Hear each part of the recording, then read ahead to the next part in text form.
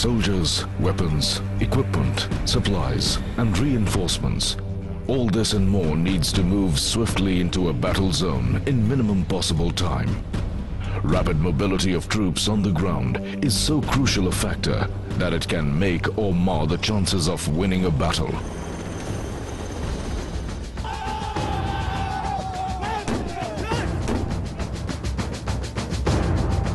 This is where the Corps of Engineers steps in.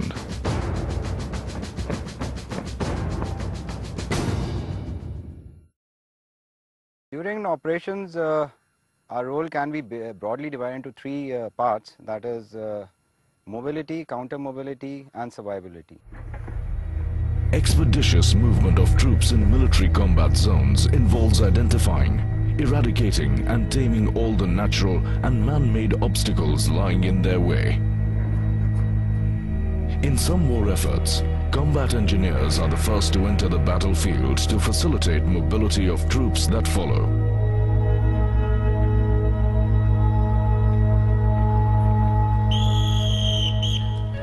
They construct tracks, bridges, helipads, and ropeways for enabling movement of men and equipment.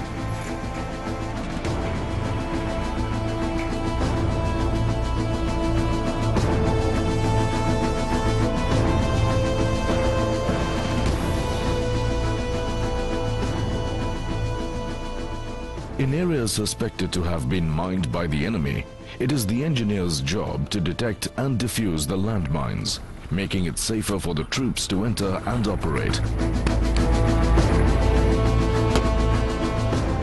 The combat engineers also make parts for battle tanks, infantry combat vehicles, large trucks and field guns to be transported to the theater of operations. There are four pillars of the Corps of Engineers. We have the combat engineers, then we have the military engineering service, then we have the border roads, and we have the military survey. Each one of these engineering units performs an enabling role during war as well as peace. The Army engineers are also known as sappers. Sappers are engineers by qualification. They also train in armed combat as infantry soldiers. During war, these engineers fight alongside the infantry after executing their engineering tasks. The combat engineers are experts in constructing and commissioning bridges in a very short time. They deploy a wide lineup of bridges in combat zones, suited to the landscape and demands of the battle. The engineer's arsenal includes both mechanically as well as manually launched bridges. Weighing 5,700 kilograms, the AM-50 bridge is a Tatra truck mounted mechanically launched bridge. Each bridge covers a gap of 12.5 meters. A set of four vehicles can bridge up to 52 meters of gap. With each bridge taking up to 7 minutes to launch, the AM-50 bridge is preferred by the engineers, especially when they are hard pressed for time. This bridge can withstand a load of up to 70 tons. This 4-meter wide bridge can be launched by a crew of three engineers. A 54-meter wide water obstacle can be conquered in well under 30 minutes. Such rapid deployment could give the ground forces an upper hand against the enemy troops.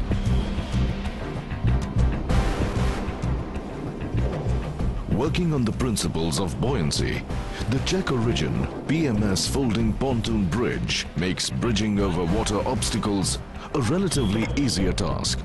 Mounted on vehicles, this bridge is kept on Tatra trucks in a folded position. At the site of action, it is dropped into water where it unfolds to form a wide-decked bridge almost immediately.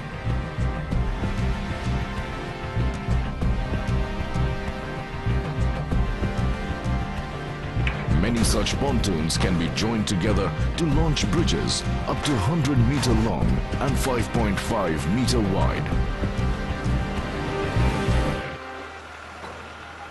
The engineers also deploy Kruppmann heavy floating assault bridges for tackling water obstacles wider than 100 meters. The German origin Krupp-Mahn bridges use members made of heavy-duty aluminum alloy. These are mounted on rubber floats, generally used for crossing rivers. These bridges have a load capacity of up to 50 tons. While laying bridges in the battlefield, a combat engineer has to also factor in locally available resources and peculiarities of the terrain while taking decisions. at the particular site, he should be able to decide within a split second which may affect the entire operation. That is what is intellectual sharpness. His decision will affect the entire operation. Some bridges are stored in modular forms for ease of transportation by road, water or by air using helicopters. Upon reaching the launch site, the modular components are quickly assembled and launched without wasting even a moment. Himalayan region, the Army engineers have constructed several bridges including a large number of Beatty suspension bridges across rivers and deep gorges. As part of the survival tasks, the engineers also construct trenches, bunkers, and make provision for supplying electricity in the battle zone.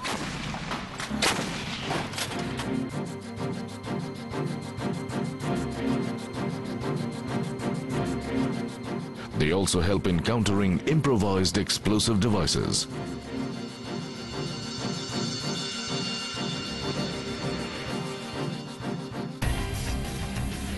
Combat engineers also hold the responsibility of removing mines and unexploded explosives planted by the enemy forces. In addition to defusing landmines, they also lay mines to weaken the adversary and slow down enemy advancement. Depending upon the threat perception, the engineers lay different types of mines in sufficient numbers to deter the enemy. India is a signatory to the United Nations Convention on Certain Conventional Weapons. The Indian Army adheres to the guidelines governing the use of landmines outlined in Protocol 2 of this convention. This protocol deals with the prohibitions or restrictions on the use of mines, booby traps and other devices. Once the mines are planted and concealed, the mined area is suitably fenced and marked so as to forewarn people about the presence of landmines. Mines again can be classified into three different types. Anti-tank mines, the anti-personnel mines, mine inflammable. These mines basically tend to uh, delay the enemy because when you are occupying defenses, you require more time to find out as to what the enemy is aiming for.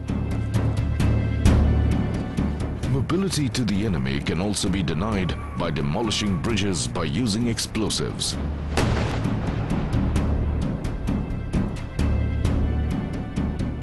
Here, explosives of suitable strengths are placed in water under the enemy bridge.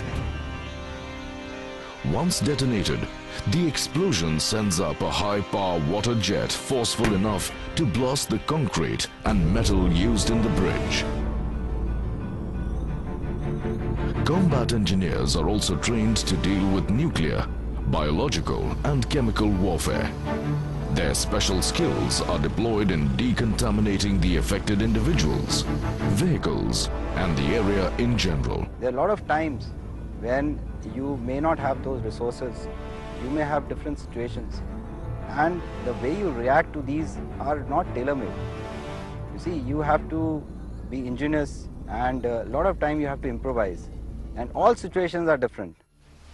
In the year 2010, the devastating cloudburst in Leh in the state of Jammu and Kashmir had created havoc on an unprecedented scale. The local civil administration felt completely handicapped in tackling this colossal tragedy. The army engineers along with the civil administrative authorities took upon the challenge of restoring civil infrastructure on a war footing. And within just one month, most of the roads had become motorable and most of the bridges had been rebuilt. Normalcy in the region was restored much faster than what the civic administration had expected. With Sarvatra, meaning omnipresent, as their motto, the sappers are often the first ones to move into the battlefield and the last ones to leave. With their ingenuity and unwavering commitment to serve the nation, their proven ability to stand up to any challenge, their capacity to improvise, and their gumption to fight armed battles, the sappers have always been trailblazers during war and during peace.